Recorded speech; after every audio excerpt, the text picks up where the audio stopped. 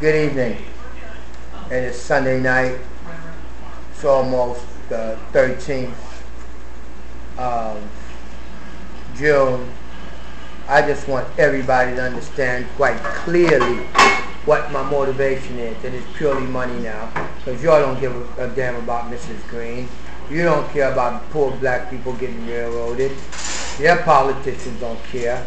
You fans out there, you care, you watch my show but everybody who should care, everybody who makes a living off of having or been bestowed upon those fiduciary responsibilities have not made the grade.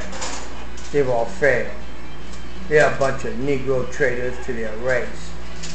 And it's heresy. It is heresy against American social doctrine. Now, I don't know if Ms.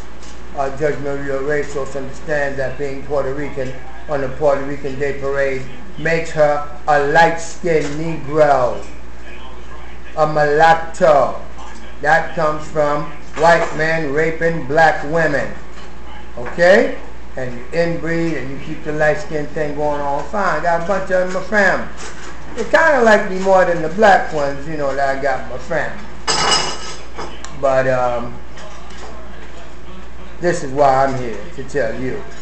My job is to piss off the President of the United States so that the wrath of his rage for me putting that henchman's noose in the Oval Office falls upon every single politician that had knowledge, including you, Al Sharpton, you piece of crap.